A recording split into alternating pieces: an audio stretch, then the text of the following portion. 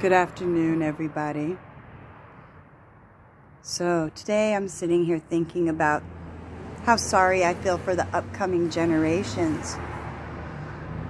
And how these days, with everything being done in the Matrix, through the Leviathan, aka the airwaves, aka the internet, aka the black scribe you're using, aka witchcraft and sorcery. You know, so right now we have all the children home. And you see people, these kids, not learning a damn thing on their computer with these teachers. Then you see the kids playing their video games, not even paying attention to class. How do you expect these children to pay attention to an online course and, and then absorb the information, especially with all the other outside distractions? Now, what's being pushed? Video games, violent video games.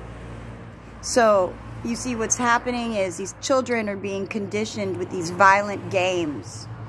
They're being conditioned to kill. They are being conditioned to not care. They are being conditioned for cognitive dissonance.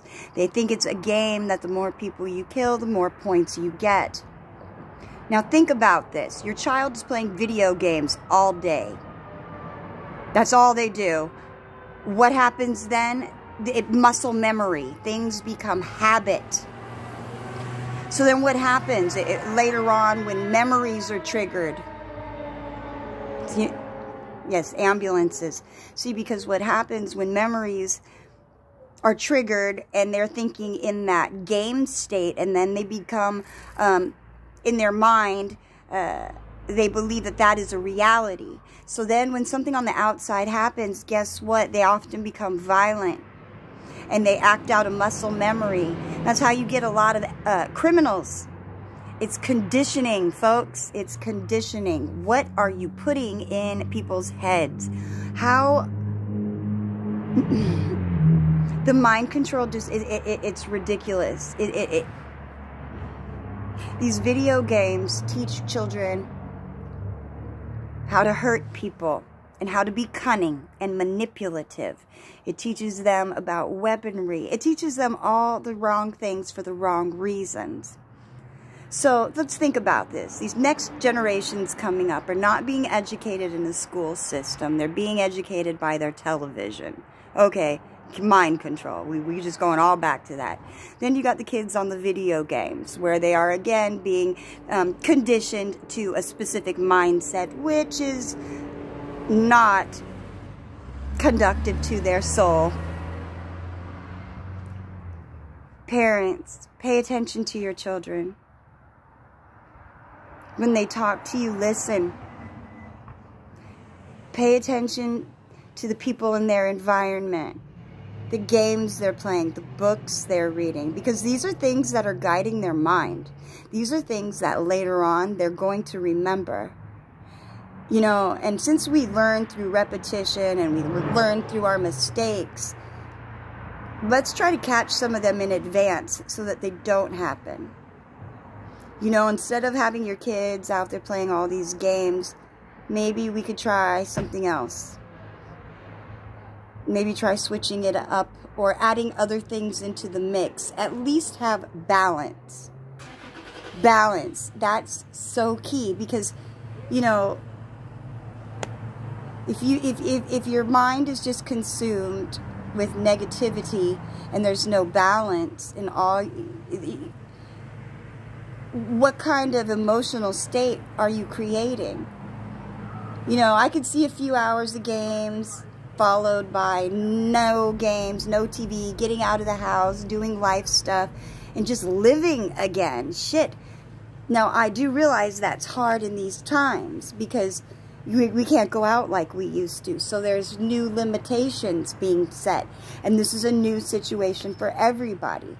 And I know people, everybody's doing the best that they can do with the information they have at that time. I get that. I'm just trying to look at how we can move forward through this chaos, but have some balance and some equal footing. And what can we do to help the next generations coming up to know that there's life outside the matrix, Neo? We all need to wake up ourselves and then help our children. You know, I've fallen behind greatly. I have made so many mistakes and I am feel bad for them. You know, um, stability is something I myself have lacked because it wasn't really provided to me, so I didn't learn it.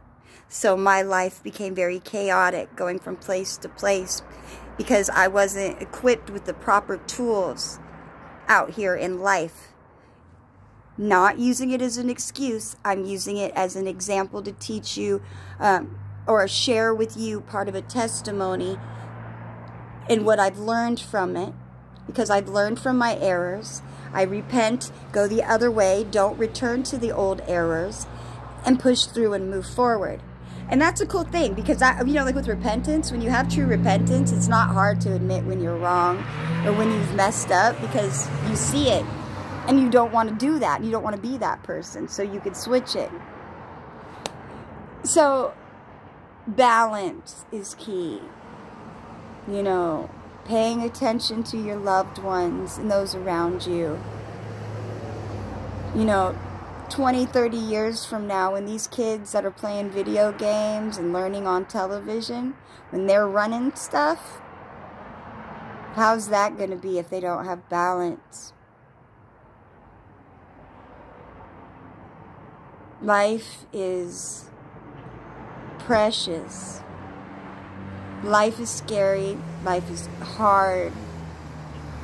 It has its great moments too, but you know, it's like we just gotta push through, you know, and, and, and think of using agape love, an all consuming, not all consuming, wrong words, but with agape, it's everything it's it's a love for every, not just yourself. Yes, you need to love yourself, but you need to love everything outside of you as well as yourself. Meaning, looking out for what's good for the whole, not just one person, but what's good for everybody. I don't know. Again, I'm I'm just sharing some thoughts mind control is a terrible thing. There are so many programs out there. And I just would like to help be a chain breaker. You know, I don't want I don't want to be a creator of chaos. But I would like to be a chain breaker of old strong men and strong men. So sometimes that takes a certain type of different strong woman to help overcome that straw woman man. You see, see? Okay, I had to add that last part in there. Oh, okay, let me, let me stop. Let me stop. Have a good one, everybody. Enjoy your day. I hope to get some feedback. You know, I make these videos and I feel like I'm talking to myself sometimes. But I hope somebody out there hears me. And I hope it helps somebody somewhere, somehow. Stay blessed.